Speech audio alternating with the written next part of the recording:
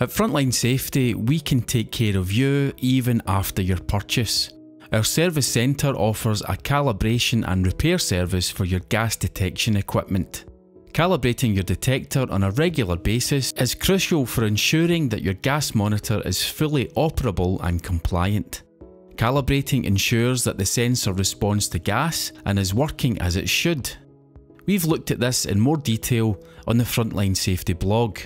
Most monitors require calibration every 6 months and some are annual, but this may vary depending on the application, manufacturer and even the environment. This can be done manually with a regulator, calibration gas, calibration cap and tubing. Or it can be done automatically with the use of a calibration docking station. The other option available to you is to return your unit to our service engineers at our service centre and we can carry out calibration for you. Our manufacturer trained engineers are also able to carry out servicing and repairs on your gas detector. Returning your equipment to us is simple. Visit our website frontline-safety.co.uk, hover over the service menu and select RMA.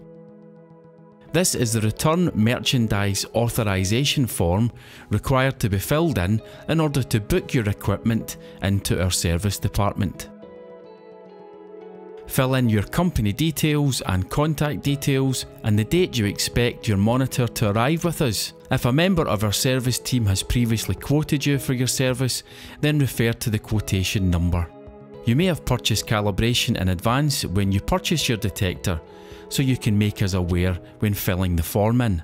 Enter the address you wish us to return the instrument to once it's been completed and when filling in the production information, advise us of the manufacturer model, including gas type and the instrument's serial number.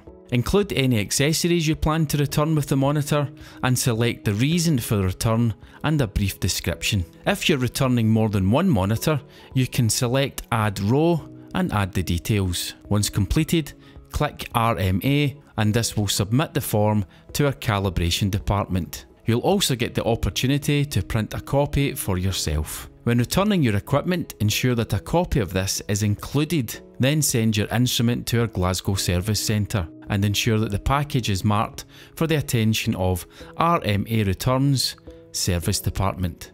Once the goods are received, our engineer will inspect them and a member of our service team will be in touch to discuss your servicing or calibration requirements.